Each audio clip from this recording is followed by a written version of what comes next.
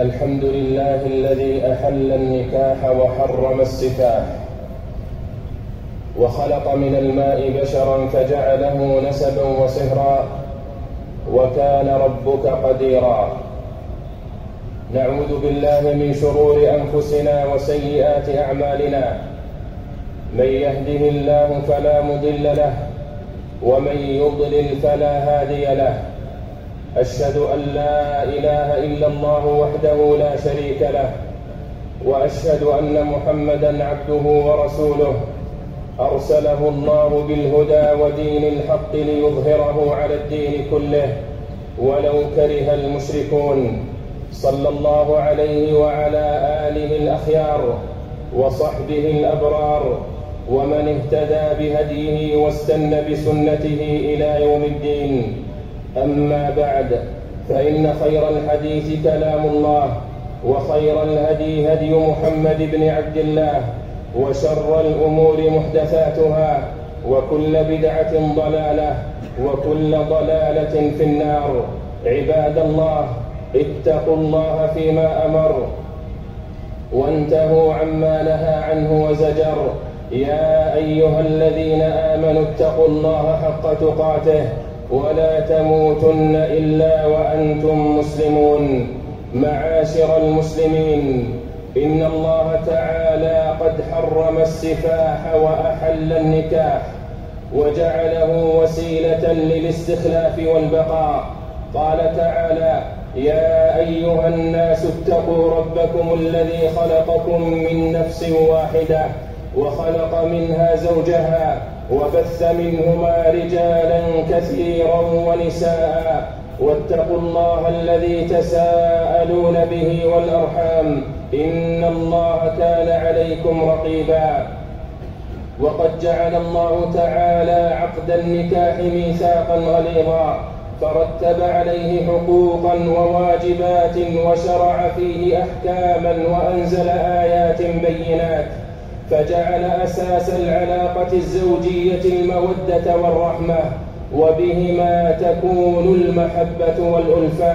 قال تعالى ومن اياته أن خلق لكم من أنفسكم أزواجا لتسكنوا إليها وجعل بينكم مودة ورحمة وحث على حسن العشرة وبذل المعروف.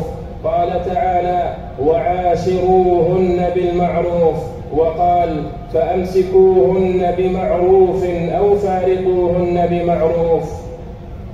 وأنصف في الحقوق والواجبات فقال ولهن مثل الذي عليهن بالمعروف.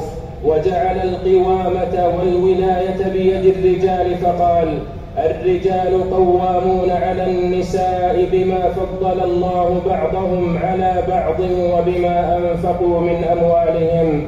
وحذر من الظلم والأذى والجور والبغي والعنة فقال ولا تمسكوهن ضرارا لتعتدوا ومن يفعل ذلك فقد ظلم نفسه.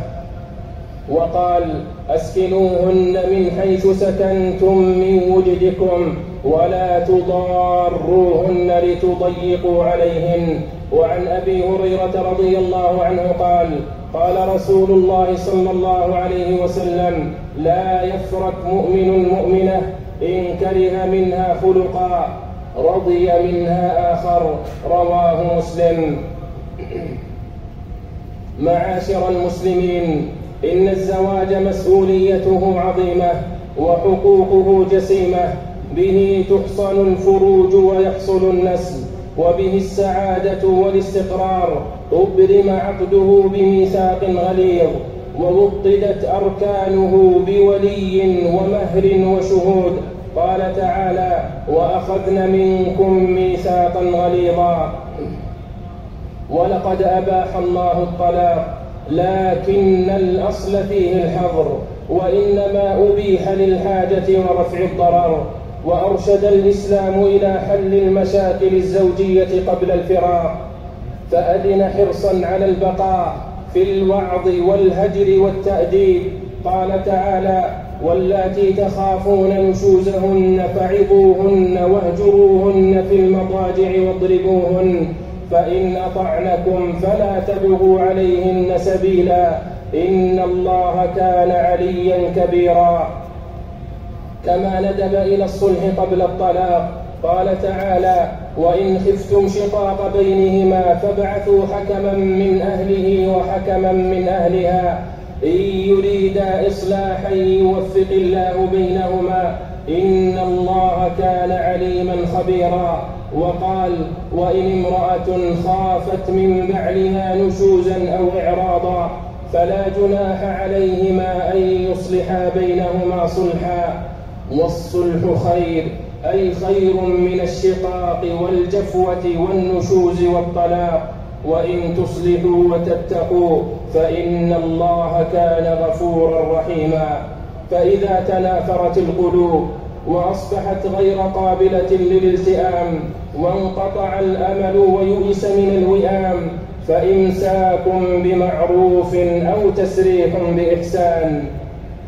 فالطلاق آخر الحلول وأبغض الحلال ولهذا رغب الشرع في الرد والمراجعة وجعل العصمة بيد الرجل فيمتلك حق الرجعة مرتين الطلاق مرتان فإمساك بمعروف أو تسريح بإحسان وتعتد المطلقة في بيت زوجها ثلاثة قروء لعل الله يحدث بعد ذلك أمرا فيتراجعا ويصطلحا وبعولتهن أحق بردهن في ذلك إن أرادوا إصلاحا ولهن مثل الذي عليهن بالمعروف وللرجال عليهن درجة والله عزيز حكيم.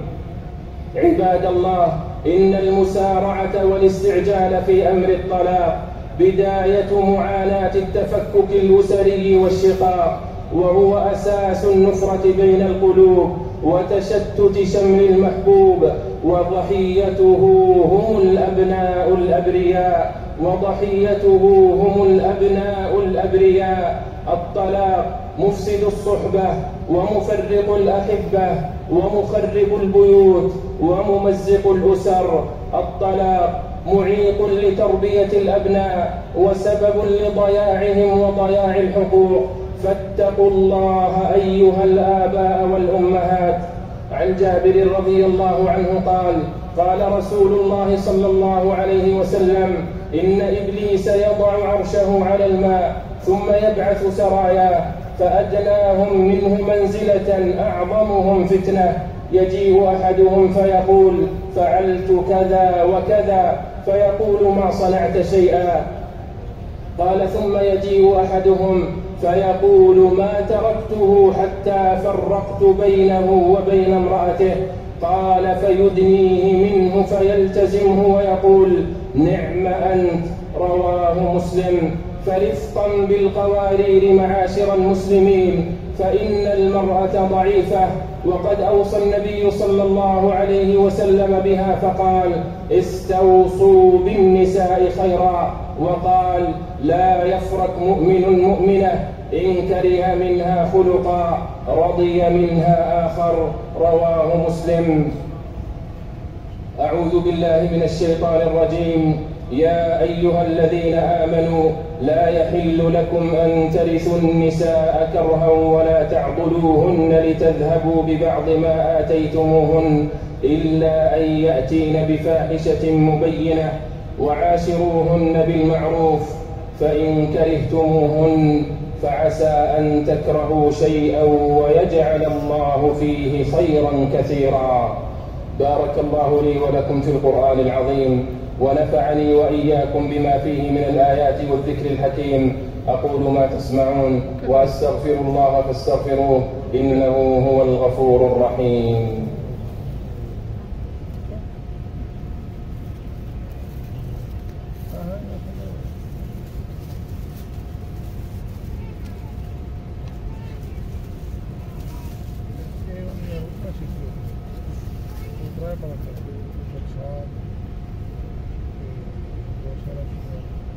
الحمد لله الذي خلقكم من نفس واحدة وخلق منها زوجها وبث منهما رجالا كثيرا ونساء أبدع ما خلقه وأحكم ما شرعه وأعطى كل نفس هداها نحمده حمدا كثيرا لا يتناهى ونشكره على نعم تفضل بها وأعطاها.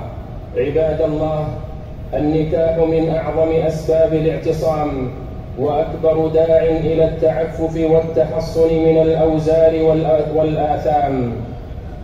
فاختاروا لنطفكم واظفروا بذات الدين وإياكم وخضراء الدمن فإن الخبيثات للخبيثين والطيبات للطيبين.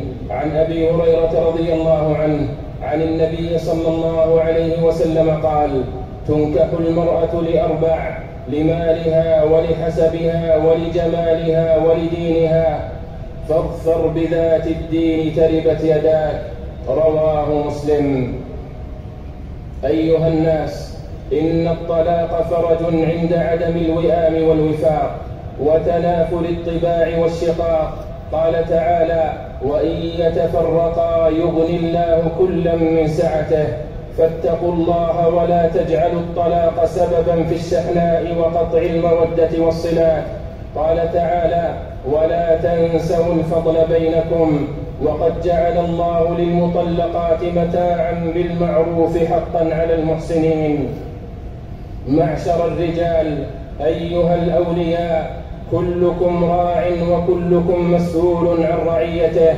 ألا وإن النساء أمانة في ذممكم ووصيه الله ونبيكم لا يكرمهن إلا الكريم ولا يهينهن إلا اللئيم عن المقداد بن معد كرب أن النبي صلى الله عليه وسلم قام في الناس فحمد الله وأثنى عليه ثم قال إن الله تبارك وتعالى يوصيكم بالنساء خيرا إن الله يوصيكم بالنساء خيرا إن الله يوصيكم بالنساء خيرا. إن الله يوصيكم بأمهاتكم وبناتكم وأخواتكم وعماتكم وخالاتكم. رواه الطبراني. وعن سليمان بن عبد وعن سليمان بن عمرو بن الأحوص قال حدثني أبي أنه شهد حجة الوداع مع رسول الله صلى الله عليه وسلم فحمد الله وأثنى عليه. وذكر ووعظ ثم قال ألا واستوصوا بالنساء خيرا فإنما هن عوان عندكم ليس تملكون منهن شيئا غير ذلك إلا أن يأتين بفاحشة مبينة. فإن فعلن فاهجروهن في المضاجع واضربوهن ضربا غير مبرح فإن أطعنكم فلا تبغوا عليهن سبيلا.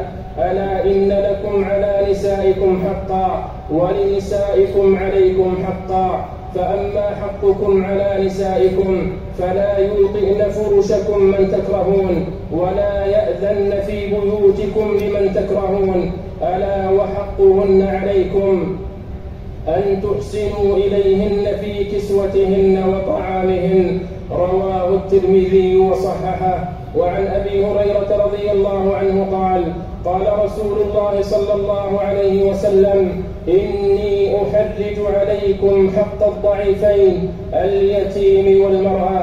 رواه الحاكم. أيتها الأخوات المسلمات إن النكد والعناد وسوء الأدب مع الأزواج وإفشاء أسرار البيوت وعدم تحمل المسؤوليات والتأثر بما يعرض في وسائل التواصل من تفاهات فشل يخرب بيوتكن ويشتت شمل العيال ويؤثر سلبا في حياتكن. فاتقين الله في بيوتكن وأزواجكن. عن عبد الرحمن بن عوف رضي الله عنه قال قال رسول الله صلى الله عليه وسلم إذا صلت المرأة خمسها وصامت شهرها وحفظت فرجها وأطاعت زوجها قيل لها ادخل الجنة من أي أبواب الجنة شئت؟ رواه أحمد. أيها الناس إن التخبيب بين الزوجين وإفساد الألفة وزرع الفتنة بينهما وتحريض أحدهما على الآخر والتسبب في الفراق والطلاق حرام يتحمل فاعله التبعات. فعن أبي هريرة رضي الله عنه قال قال رسول الله صلى الله عليه وسلم ليس منا من خبب امرأة على زوجها. رواه الحاكم. أيتها المسلمة اتق الله فإن الزواج ميثاق غليظ فلا تسأل الطلاق من غير بأس. فعن ثوبان رضي الله عنه قال قال رسول الله صلى الله عليه وسلم أيما امرأة سألت زوجها الطلاق من غير بأس حرم الله عليها أن تريح رائحة الجنة. رواه أحمد. وبعد عباد الله فالصبر من أعظم الفضائل وأفضل القربات وأجل الطاعات. فاصبروا واعفوا عمن أساء. وتواصوا بالحق وتواصوا بالصبر. الصبر مفتاح الفرج به يرفع الله الدرجات. قال تعالى وبشر الصابرين وقال إنما يوفى الصابرون أجرهم بغير حساب فالصبر الصبر أيها الناس. وسارعوا إلى مغفرة من ربكم وجنة عرضها السماوات والأرض أعدت للمتقين. الذين ينفقون في السراء والضراء والكاظمين الغيظ والعافين عن الناس والله يحب المحسنين. اللهم ألهمنا الصبر ووفقنا للصفح والعفو وكظم الغيظ. برحمتك يا أرحم الراحمين. اللهم حبب إلينا الإيمان وزينه في قلوبنا. وكره إلينا الكفر والفسوق والعصيان واجعلنا من الراشدين. اللهم يا مقلب القلوب ثبت قلوبنا على دينك. اللهم يا مصرف القلوب صرف قلوبنا على طاعتك. ربنا لا تزغ قلوبنا بعد إذ هديتنا. ربنا لا تزغ قلوبنا بعد إذ هديتنا. وهب لنا من لدنك رحمة.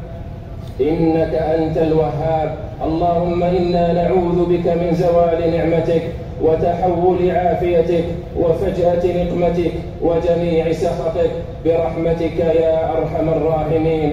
اللهم أعز الإسلام والمسلمين وانصر عبادك الموحدين واجعل اللهم هذا البلد آمنا مطمئنا وسائر بلاد المسلمين. اللهم آمنا في أوطاننا وأصلح أئمتنا وولاة أمورنا. اللهم وفق ولي أمرنا خادم الحرمين الشريفين بتوفيقك.